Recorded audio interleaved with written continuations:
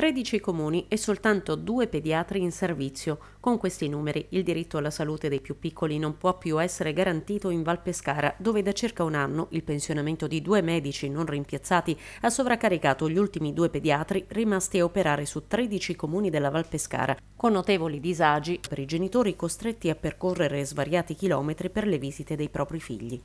A raccogliere la protesta è stato Domenico Pettinari, consigliere regionale del Movimento 5 Stelle e vicepresidente del Consiglio regionale. I due pensionamenti non sono stati rimpiazzati, quindi potete ben immaginare che tutto il carico dei pazienti che prima si riversava sui quattro pediatri adesso si deve riversare su due pediatri e questo non va bene. Quindi politicamente io chiedo una soluzione per rimpiazzare quei due pediatri perché il sovraccarico di pazienti poi rende inevitabilmente un servizio non come quello che c'era prima, perché quattro medici non sono come due medici naturalmente. Io dico siamo legislatori regionali, la regione è autonoma, la regione può anche fare una proposta legislativa, può fare un accordo integrativo regionale che vada in, in deroga agli accordi nazionali. Per rimpiazzare due pediatri, l'unica soluzione che ci hanno dato è consentire la deroga al massimale che prima avevano questi due pediatri, ma la deroga significa andare a caricare, a sovraccaricare ancora di più di pazienti pazienti e non va bene così, quindi noi saremo accanto alle madri. Mi è stato detto, questo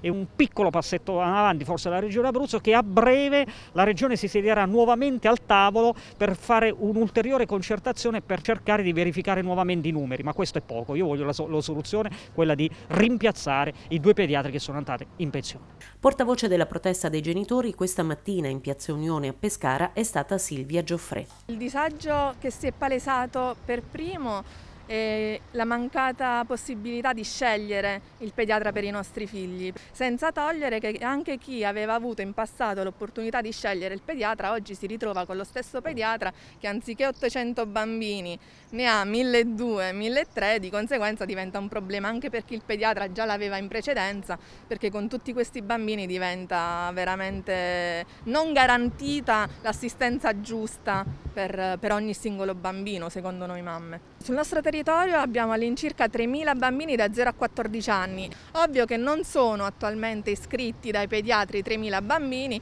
in quanto tante mamme in questa situazione si sono trovate costrette ad iscrivere i propri figli, anche di 7-8 anni, dai medici di medicina generale e aspettano il ritorno di un nuovo pediatra per poter riportare i bambini ai medici che hanno competenza per i bambini, perché se il pediatra esiste c'è un motivo sostanzialmente.